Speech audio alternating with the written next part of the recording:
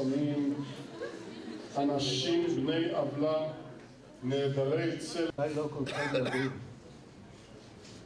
שלוש מלחמות, מבצע קדש ישראל, כמה שהיא עבדה קשה ביותר.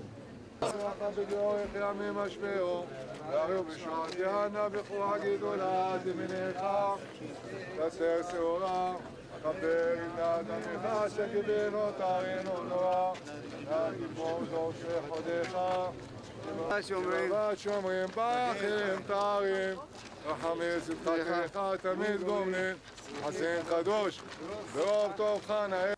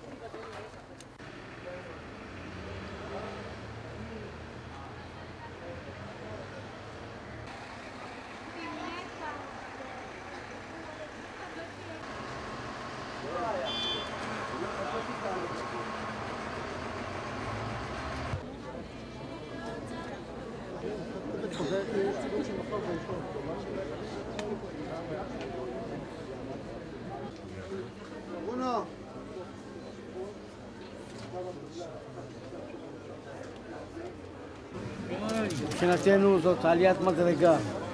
מה שקרה בעיר אילת זה אירוע חמור ביותר. אנחנו מתכוונים לנקוט בפעולות יזומות. אין לנו כוונה לתת לרגע אחד שקט ומנוח, לא למארגנים, לא לפעילים, לא למפגעים. בכוונתנו לבדוק גם את צירי התנועה לעבר אילת וגם את הדרך למנוע פיגועים כאלה.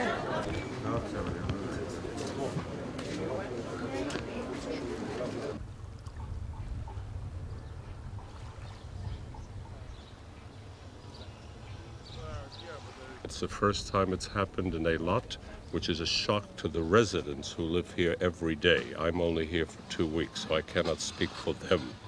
But there's no fear in my heart.